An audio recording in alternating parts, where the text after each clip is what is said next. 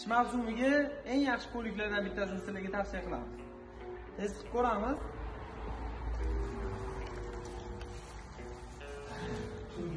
Yarim litr suv oyog'ini tagiga to'kildi. Boshqa poliklar bo'lsa tagiga chetiga chiqib ketish ehtimollari bor. Bu polikimiz yaqinroq ko'rsat faqatgina polikka o'zida saqlanib qoladi. Va hozir uni olib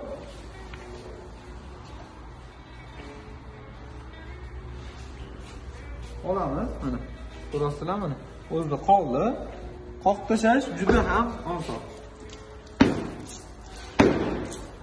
Xuddi shunday tarzda bemalol qoqib tashlanglar bo'ladi.